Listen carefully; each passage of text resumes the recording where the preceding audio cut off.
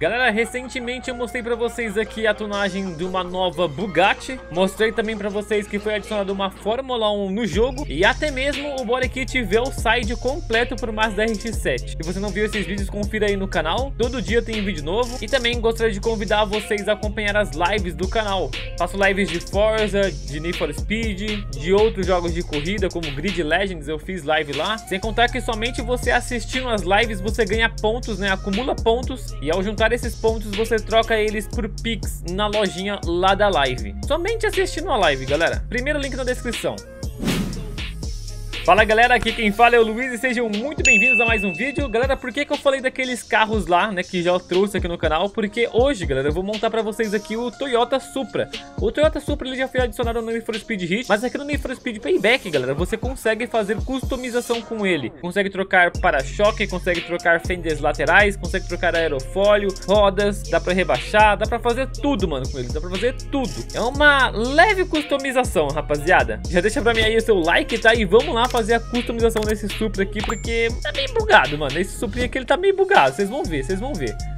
Ó, certo, vamos lá, rapaziada, vamos começar então aqui a fazer a customização Vou colocar pelo capô, tá? Algumas peças, como eu falei pra vocês, né, e vai estar tá aí fora de textura Mas não faz mal, né, rapaziada eles estão adicionando ainda por enquanto, estão regulando, estão deixando tudo bonitinho. E esse mod aqui quem fez foi o Exaline. Eu vou deixar aí o link do canal dele aí na descrição também do vídeo. O créditos aí vai tudo para o Exaline que me mandou esse mod aí do Supra, beleza galera? Aqui não tem para-choque para mexer, então não vamos mexer. O que tem aqui pra gente mexer é divisor, galera, ó. Tem esse daqui, que é bem grandinho, tá? Por sinal. Tem esse, aí tem esse daqui, esse daqui, não fica tão legal também esse, esse aqui também não. E só, galera. O que dá pra gente colocar aqui, ó, é esse primeiro aqui, ó, vamos ver. Ah, ficou muito grande, né, mano? Fica muito grande, fica feio. Vamos colocar isso aqui então, original do Supra, tá? Que é esse daqui, originalzinho do Supra, é esse. Farol aqui não tem como mexer, tá? Não tem como mexer o farol. Para-choque também não tem como, como eu mostrei pra vocês. Fender lateral tem esse daqui, esse só. Um aqui dá uma alargadinha a mais, tá? Mas não, não faz diferença pra mim essa alargada, porque a gente consegue alargar depois na regulagem da suspensão. Então vamos colocar esse aqui, ó, da Shidori. Vamos colocar. Retrovisor, não tem como trocar retrovisor, mas eu vou colocar aqui o último retrovisor, tá? Só por via das dúvidas. Ah, o que mais que a gente pode mexer? Saia lateral. Saia lateral não troca nada, né? Muda nada, é a mesma saia lateral aqui, ó. Então vamos colocar aqui a primeira que aparece, que é da Origin Lab. Aqui no fender lateral traseiro, tem esse daqui e esse, ó. Tem esses dois, tá vendo? Como eu não coloquei esse aqui, ó, pretinho na frente, eu não vou colocar aqui atrás. Eu vou colocar esse daqui, tá, galera? Ah, Para-choque, aliás, placa do carro. Vou trocar essa placa do carro aqui, ó. Eu vou colocar essa plaquinha aqui amarela, tá? E vou colocar aqui na placa, galera, LG70K. Se por um acaso você não é inscrito no canal, se inscreva aí, ó, e faça parte aí desse canal lindo e maravilhoso. para-choque, não tem como trocar o para-choque, tá, rapaziada? Tampa do porta-malas também não tem como trocar a tampa, né? Ele buga tudo ali. Aerofólio tem como trocar. Alguns estão perfeitos, como esse daqui. Mas esse daqui, ó, tá meio zoado. Esse aqui tá bom. Esse daqui é o que eu queria colocar, mas ele tá zoado, tá vendo a textura dele, ó? Ele não tá legal, galera. Só a base, né, em cima ali que tá zoado, porque o restante tá da hora. É, era o que eu queria colocar, mas não vou pôr por causa disso, então eu vou colocar esse daqui, ó. Sistema de som eu não vou mexer. A difusor. Vamos colocar um difusor bacana, esse aqui, ó, da Rocket Bunny. E aqui no escape, rapaziada. Deixa eu ver aqui um escape bacana pra pôr. Escape boca larga. Vai ser esse aqui, hein, mano. Mudou. Poxa, mudou o difusor, mano. Poxa, conforme eu troco o escape, muda o difusor? Como assim, cara? Não entendi, né? Mas vamos colocar isso aqui, ó, da Mazda, que é gigantesco, né? Vamos deixar isso aqui, ó, gigantão. E agora sim, galera, só falta rodas e pneu, né? Vamos colocar então aqui uma, um pneu bacana. Pneu estilo de drift. É isso mesmo, vamos colocar um pneu estilo de drift aqui, ó, da Toyo. E vamos colocar a famosa TE37, tá, galera? Deixa eu ver se eu acho ela aqui, ó.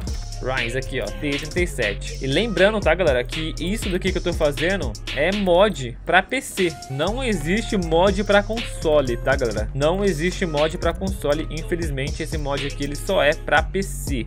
Beleza? Só é mod pra PC, infelizmente, galera. Tanto as rodas aqui, quanto o Supra, tudo aqui que eu tô fazendo aqui, ó, colocando diferente do seu jogo que tem aí, que você tem, é mod, tá, rapaziada? Infelizmente aí é mod. Uh, quem mais a gente pode fazer aqui, ó, rebaixar ele, né? Essas rodas aqui, galera, tá muito pra fora, mano. Principalmente essa traseira aqui, eu vou deixar aqui assim. O ruim também é que ele ficou bem alto, né, mano? O ruim é que ele ficou bem alto, galera. Ficou muito alto.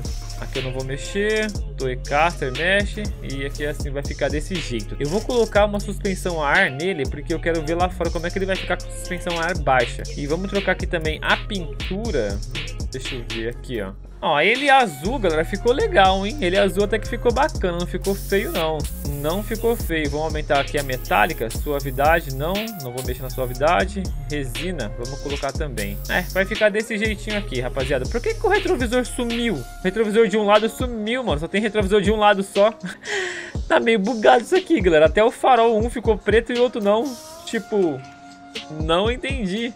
Mas beleza, ele vai ficar assim mesmo, azulzinho, tá bom? Deixa eu salvar aqui. Aqui em cores vocês já conseguem ver, ó. ó o Supra aqui embaixo, tá vendo? Ó, Mazda RX-7 Veilside, Koenigsegg Jesco, tem aqui a Fórmula 1 e a Bugatti, tá, galera? E também tem aquela BMW sedanzinha que eu mostrei pra vocês também. Tudo isso eu mostrei pra vocês anteriormente no canal, tá bom? Se você perdeu um vídeo desses, procura aí que você acha bem fácil. Foi bem recente. Bom, rapaziada, eu consegui arrumar aqui, ó, o retrovisor, mas o farol dianteiro eu não consegui arrumar não, mano. O farol dianteiro eu não consegui arrumar. Ele ficou bem alto, eu queria que ele ficasse um pouquinho mais baixo. Infelizmente elas vão ficar assim pra fora mesmo, tá? Eu queria que ficasse um pouquinho mais baixo, mas vai ficar desse jeito aí mesmo, beleza, galera? Então vamos lá fora agora testar o carro, aliás, montar a parte do motor dele e ver como é que ele vai ficar, tá? Vamos lá fora, vamos lá. Bom, rapaziada, esse carro aqui, ele foi substituído em cima do Mazda RX-7, infelizmente, tá? Nossa, o farol ficou estouradaço, mano, meu Deus.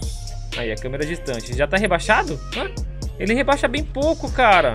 É, não, nem tão pouco assim, né? Ele rebaixa até que consideravelmente bem, ó. Rebaixa até que legalzinho. É, ficou legalzinho, rapaziada. Mas vamos lá na loja de peças, tá, galera? Aqui, ó, e vamos colocar aqui umas peças nele pra ele ficar legal, tá? Infelizmente ele tá com aquele barulho Enkel, né, que é do Mazda RX-7, porque ele foi colocado em cima do Mazda RX-7. Vamos colocar esse nível de performance 16 e vamos comprar algumas cartinhas de nitro, né? Se a gente achar aqui, ó, 18 nitro.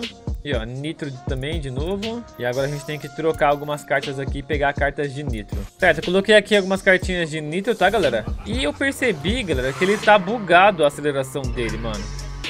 Ó, tá vendo? Ó, ele tá meio bugado. A aceleração dele tá bem bugada. Meio não, né? Tá bem bugada. Vamos pegar essa caixa aqui, ó, e já vamos dar fuga já, ó. Pra vocês terem uma ideia. Olha isso.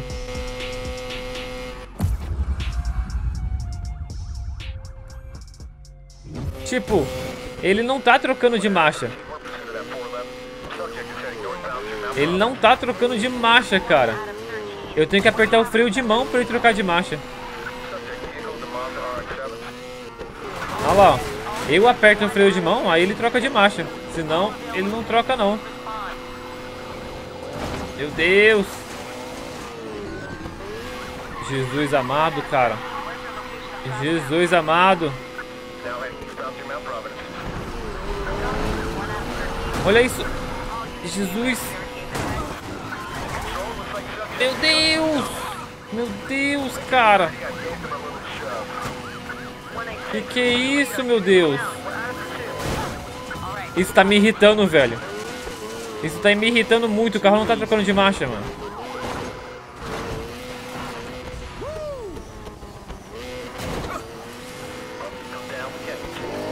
O carro não tá trocando de marcha. Isso tá me irritando. Ele só troca quando eu aperto o freio de mão. Ah. Jesus amado. Ó, ele limita lá uma velocidade, aí eu aperto o freio de mão e troca de marcha. Que bizarro, velho. Ai. Mano, não dá. Literalmente não dá, rapaziada. Ó.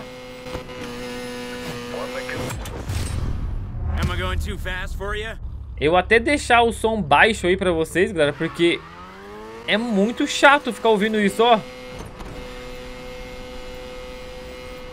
Aí ele limita, você aperta o freio de mão ali, troca de marcha. Caramba. Aí ele vai limitar de novo, aí você troca de marcha, apertando o freio de mão. Ó, olha isso, mano. Jesus amado.